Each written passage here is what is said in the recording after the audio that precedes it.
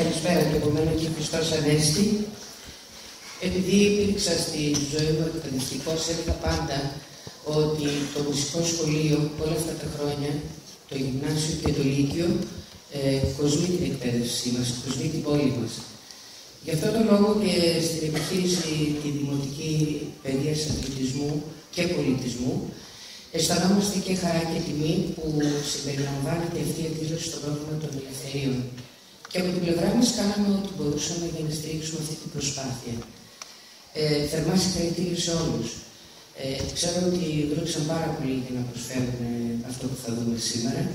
Θερμά συγχαρητήρια στα παιδιά, στους συναδέλφους καθηγητές, στον διευθυντή, στο Σύλλογο Γονέων και Κηδεμόνων και να ευχηθούμε να είναι γεροί και στο μέλλον να μας καλέσουν τις ζωντάνες τους και τις μουσικές τους.